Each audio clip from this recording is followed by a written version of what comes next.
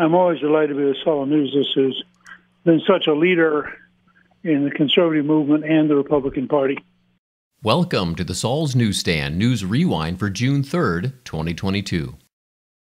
CBS News reports Yellen admits she was wrong about inflation in 2021. Treasury Secretary Janet Yellen told CNN on Tuesday that she was wrong when she said last year that inflation only posed a small risk and wasn't likely to be a problem.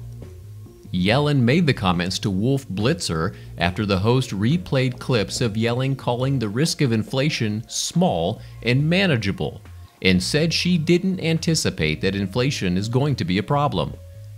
Federal officials called inflation transitory in the past, but since then, inflation has reached levels not seen in 40 years, with the Federal Reserve and policymakers struggling to bring it down.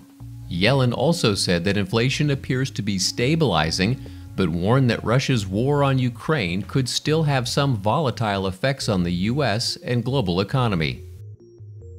An article from Just the News states Stefanik Mullin introduced resolution to expunge post January 6 Trump impeachment.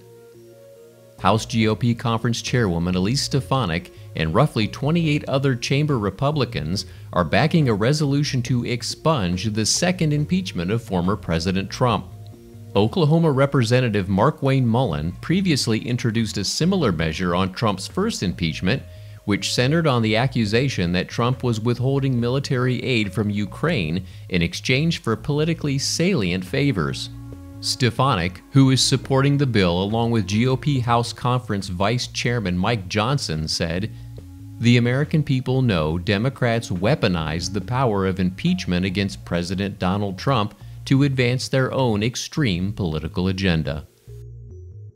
And finally, NBC News reports Inside a Biden White House adrift.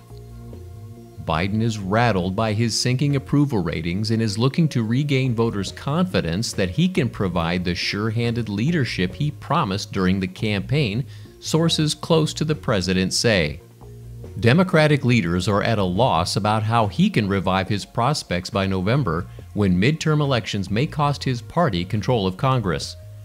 Speculation is churning that Biden could shake up the West Wing staff, although that's not about to happen right away.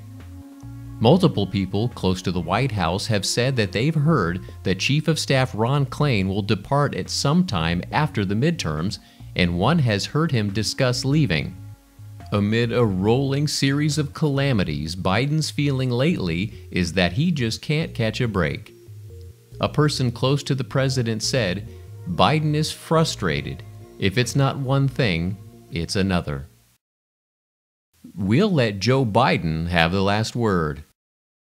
Today, we're announcing the United Airlines has agreed to offer cargo space for Kendal Nutricare uh, for the delivery of 3.7 bottles of the formula here in the States. And that concludes your Saul's Newsstand News Rewind for June the 3rd, 2022.